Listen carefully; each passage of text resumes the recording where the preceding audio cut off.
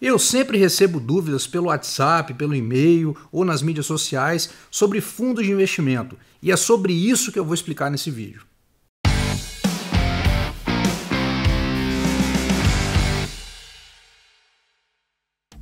Eu sempre recebo nas mídias sociais, no WhatsApp e também por e-mail muitas dúvidas de investidores sobre os fundos de investimento. Existem diversos tipos de fundos de investimento bem diferentes entre si, e por causa dessa diversidade, é comum que surjam mesmo essas dificuldades para entender cada uma dessas modalidades de investimento, principalmente entre aqueles que estão começando agora a investir. Bom, os fundos de investimento mais comuns, que geram as maiores dúvidas dos investidores, são os fundos multimercados, os fundos de ações e os fundos DI.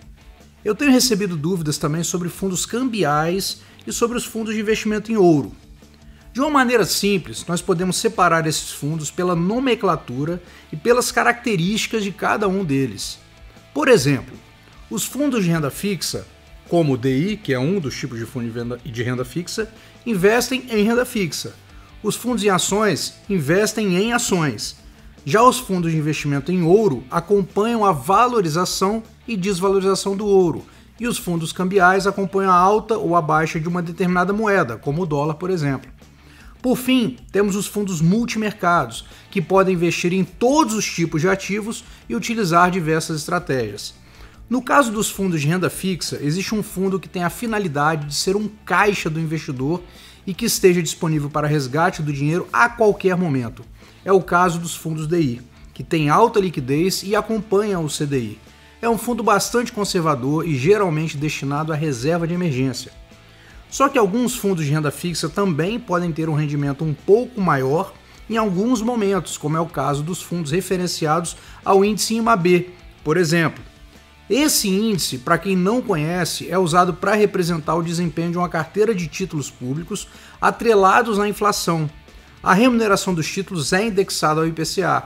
Nesse caso, os investimentos desse fundo podem ter oscilações positivas e negativas. Se você quiser investir em renda fixa dessa forma, é aconselhável que você utilize essa estratégia para o longo prazo. Bom, e para que serve cada tipo de fundo? Os fundos DI, como eu já comentei, são indicados para quem deseja aplicar dinheiro com o objetivo de resgate instantâneo e no curto prazo, já que a liquidez é imediata. Já os fundos de investimento em ações são indicados para quem procura investimentos que visam o longo prazo, é adequado para formar um capital por um prazo de 5, 10, 20 ou 30 anos, por exemplo. Os fundos multimercados são interessantes para a composição de carteira e fazem parte do portfólio de muitos investidores. Isso porque existem diferentes estratégias que podem ser usadas em fundos multimercados que vão das menos arriscadas às mais arriscadas. Os fundos de ouro, por sua vez, costumam ser usados por investidores que queiram obter uma determinada proteção em sua carteira. Essa modalidade de investimento é usada geralmente para proteção contra períodos de crise. Nesses momentos de turbulência econômica, o ouro pode se valorizar e reduzir as perdas no mercado de ações, por exemplo. Já os fundos cambiais têm utilidade principalmente para quem pretende viajar, comprar dólar ou pagar um compromisso em moeda estrangeira e pretende se precaver também diante de uma possível disparada no valor da moeda. Dessa forma, o investidor consegue manter o seu poder de compra em relação ao dólar.